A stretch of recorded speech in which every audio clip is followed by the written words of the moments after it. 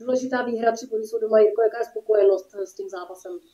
Hmm, už jsme potřebovali tři body jako sůl, teďka nám tři zápasy nevyšly, hlavně, hlavně zápas v Upavě, ale, ale jsem rád, že, že tým se semknul a kluci se k tomu postavili dobře a samozřejmě Hodonín taky hraje každý bod a, a, a potřebují se, potřebují se taky zvednout, takže jsme viděli, že to nebude nic, nic jednoduchého. A myslím, že jsme začali dobře, měli jsme dobré útočné pásmo, vytvořili jsme si několik šancí, ale, ale prostě na, na produktivitu my hoříme a, a jestli máme v zápase tři nebo čtyři samostatné nájezdy a nedáme z toho nic, tak uh, pak ten zápas uh, probíhá tak, jak probíhal a, a bojujeme do, do poslední minuty. Zase na druhou stranu, co se týká obrané fáze, tak dneska kluky, kluky můžu pochválit a odehráli jsme, odehráli jsme to dobře, zodpovědně, trošičku jsme upravili taktiku a, a, a myslím si, že, že fungovala.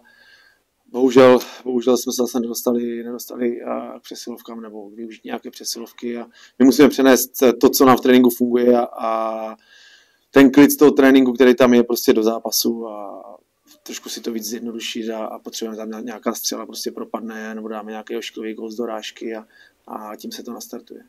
Jak je to pro trenéry? Je to 2-1, tlak přijde samozřejmě a čeká se, že soupeř odvolá brankáře, že to bude, ten tlak bude ještě větší, tak jak je to pro trenéry? Co se vám Tak to víte, že to jsou, že to jsou nervy a, ale myslím, že jsme ten závěr zvládli, kluci, kluci to dobře zatáhli dole a odbojovali to poctivě, zablokovali jsme nějaké střely a, a když jsme potřebovali, jsme to vyndali ven, takže, takže ten závěr si myslím, že byl odbojovaný dobře.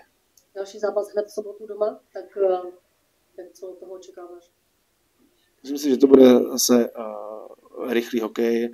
Výškov má, Výškov má dobré bruslaře, kvalitní útočníky a myslím si, že to bude pěkné utkání a my se na ně musíme připravit a, a věřím, že ho zvládneme.